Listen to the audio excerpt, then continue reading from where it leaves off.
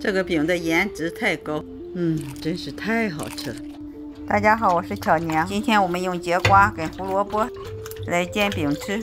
因为接到一个小朋友妈妈的留言，说她没有婆婆也没有娘，自己带孩子，她的小孩吃饭又很细。最后一句话说：“巧娘，我多么想有你这样的婆婆。”我说：“没关系，你想学什么做什么，你就把我当你婆婆，当你妈妈就好了。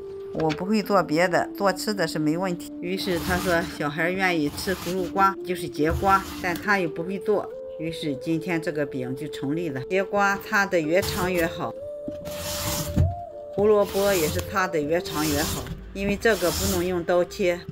相信这个每个家庭都应该有这个小工具。你们没有正方形，普通的擦就可以。擦好了，现在还需要一点点的韭菜。如果你没有韭菜，也可以加一点点的葱。我每次割韭菜。都会示范给大家看韭菜的管理。这些韭菜是我从家乡回来以后种，到现在也就是七个多月吧，长得非常的粗壮。看我这些天一直展示给大家看，你看这一把有多少颗？差不多有二三十颗。我每次都会这样抠一抠，再埋上草木灰。韭菜一定要有草木灰才长得好。割完了韭菜。今天用粉丝朋友的强烈要求，说巧娘，你一定要吃那些小苦瓜，你都拔掉太可惜了。我给你们看看，这个院子的苦瓜已经泛滥，我基本上每天都拔，我就不知道为什么它就长得太多太多。今天我把这小嫩芽，也就是苦瓜的头，掐一些，烫一下，加上点酱油膏吃看看。有朋友留言说，你可以。采下来煮茶，你看看这么多，你根本没办法吃完，到处都是小番茄都被它爬死了。你看，都爬在花生上，爬在姜上，什么地方都往上爬，连这韭菜都能爬过来。我一直拔，一直拔。好了，清洗一下。今天用的韭菜不多，用五六颗韭菜就好，只是撒在表面好看，有一个味道而已。韭菜切的越细越好，吃素的就可以不加葱和韭菜。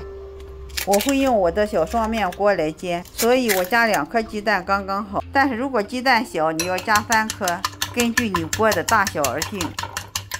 师傅领进门，修行在个人。像这些鸡蛋大概是六十克，但是菜我不可能每一个都称一下，就是大家自己参考。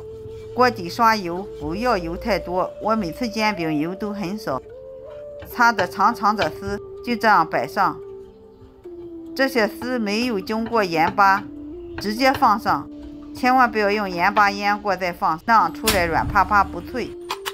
调好的鸡蛋液均匀的撒在上面，千万不要一下子倒下去哦。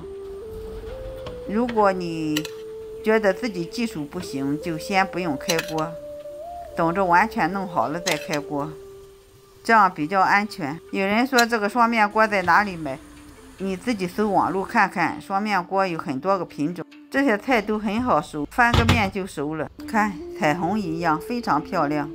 煎饼有个小窍门，火不用一直开，有时候关火停顿一下再开，这样比较容易熟，也不会糊了。这是小窍门。再一个小窍门就是怎么样把这个饼拿出来。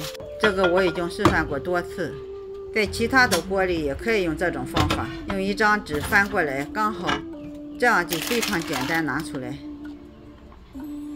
也不用用铲子，因为饼比较大，如果用铲子弄不好你会铲破，很漂亮。